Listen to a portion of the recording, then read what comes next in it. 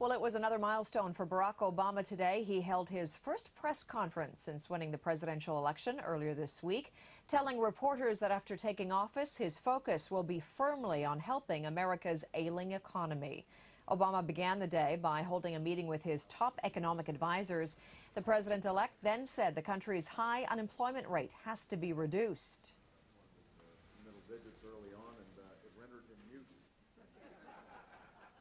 We are going to have to focus on jobs because uh, the hemorrhaging of jobs has an impact, uh, obviously, on uh, consumer confidence and the ability of people to, uh, uh, to buy goods and services. Obama says his administration also plans to extend unemployment insurance benefits and offer financial help to small businesses. So just how well did Barack Obama do with his first press conference as president-elect? Here to talk about it is Solon Simmons. He is a professor at George Mason University's Institute for Conflict Analysis and Resolution in Washington, and he specializes in American politics. Uh, Mr. Simmons, good to talk to you again. It's nice to see you again. So you know there's a lot of buzz tonight about what uh, Barack Obama said jokingly, referring to himself as a mutt when he was talking about the family's dog. Are people a little aghast at what he said, and are you surprised? Well, I'm not so sure that surprises me. That's sort of uh, uh, you know self uh, self mocking. It's uh, playful, I suppose. Sure. Uh, I was a little, I was a little more surprised, perhaps, with uh, the the reference to Nancy Reagan, and and maybe I'm reading in here. Uh, he said that. Uh, referring to her seances with for, former presidents and, and, so on. But I, I, was thinking the only thing I could imagine is he's trying to, in some ways, undermine what. Remember, Ronald Reagan's policies on the economy were known as voodoo economics. Mm -hmm. Perhaps he was uh, associating these things in some ways. Uh, I, I, will say this: it did appear to be a bit of a. Um, shall we say, a rookie performance in a, in a, press conference. It still felt like he was campaigning. It still felt like he was moving forward and trying to, uh, uh, trying to uh, uh run for office rather than uh, act as the president-elect. So that right. might have been uh, on, on display there. So he's trying to be a little too clever and it just perhaps didn't come off all too well, I guess, in the end? Yeah, I think so. I think so. You know, uh, when, when, you go through one of these transitions, sometimes it's a little bit hard to recognize it's happened. And, and this was such an intense campaign. I think it was, what, 21 months he was, right. on, he was on the trail. And so, and, and, it was quite different to watch him in this setting.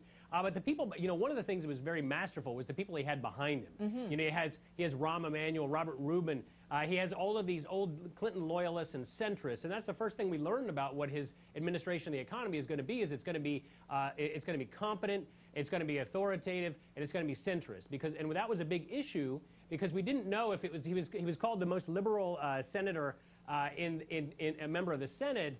And that, uh, it, it, seems belied by the kind of uh, strategy he's pursued thus far.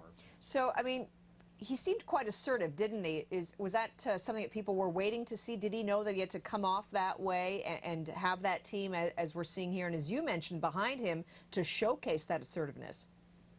I think he does feel he needs to be assertive, and I think that he feels that the economy, people who, they, people need to be uh, assuaged. They need to know that things are going to be okay. That's one of the things that Roosevelt did so well, is he made people feel comfortable. Now, in this setting, uh, he was a little bit tough, and uh, perhaps he could have been a little bit more playful about the economy. Uh, but but uh, I, I, think that not only the interesting, interesting, thing to say about it is that the economy is going to be run, uh, it seems, not only on a centrist point of view, but also a unified left center point of view. Under Clinton, it was run more to the right.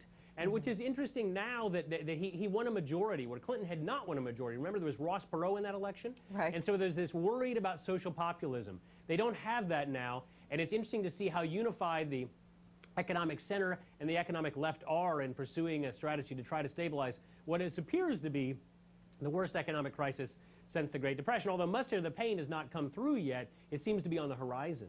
Let me ask you, the transition team that, that we saw standing behind him there, the transition team on the economy, the economy that he's assembled includes billionaire Warren Buffett, Right. and also as chief of staff, as you mentioned, Rahm Emanuel. This is a guy they affectionately call Rambo. What's the buzz right. on why he was chosen? I mean, because he was a top Clinton advisor, right?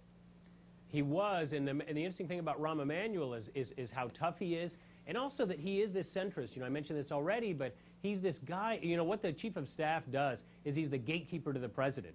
And so we now know that who's going to get access in the ear of the president is going to be this guy who, who, who, who um, cut his teeth under Bill Clinton and is not going to be very open to the extreme left. We're pretty sure about that. And yet, Bob Rubin, Robert Rubin, is uh, just co-authored a piece in the New York Times with a, a member of the Economic Policy Institute, which, which is a leftist organization, or let's call it a liberal organization. And so there's a, I think we're going to see what I, you know, uh, Roosevelt talked about what his economic philosophy was, was bold, um, persistent experimentation. The boldness is not going to be here. It's going to be mild, persistent experimentation, in my view, an attempt to move things forward, try things, pull some levers, but not to rock the boat and scare business. Because the worst thing you can do, it seems, is scare business in a time when you need investment. And so I think that'll be one of the big changes, and that's what uh, uh, Rahm Emanuel signals to me. We'll continue to watch it all. Solon Simmons with George Mason University in Washington. Appreciate it. Thanks, Jacqueline.